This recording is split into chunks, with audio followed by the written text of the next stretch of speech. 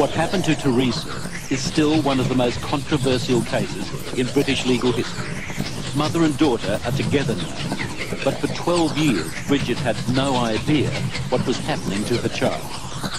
Yeah, I thought she was just hurt by the breakup of the marriage um, of myself and her father. I, I explained it away with, with things like that, you know, that this was because she, she'd come from a broken home.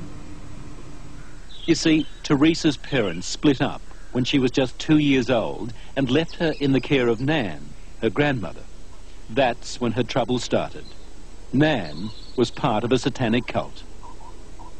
And we used to be taken to a house in the country, or one house in the country, where it would happen there. And it, we'd have ceremonies there and we'd um, kill babies and adults and animals and we were made to have sex with the animals.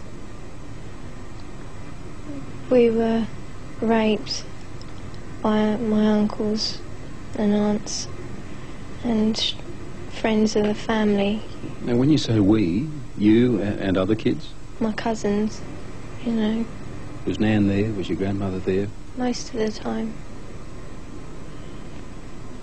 You said that animals were killed there and people were, ki- were killed there.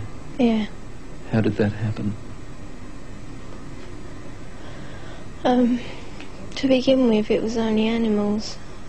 You know, I can remember them being brought in and cut down the middle and opened up.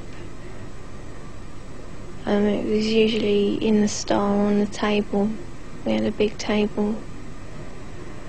Um, when the people were brought in, it was the same sort of thing. It was just, you know, a lot worse. As the rituals grew more violent, Teresa tried to escape, but the cult weren't about to let her go.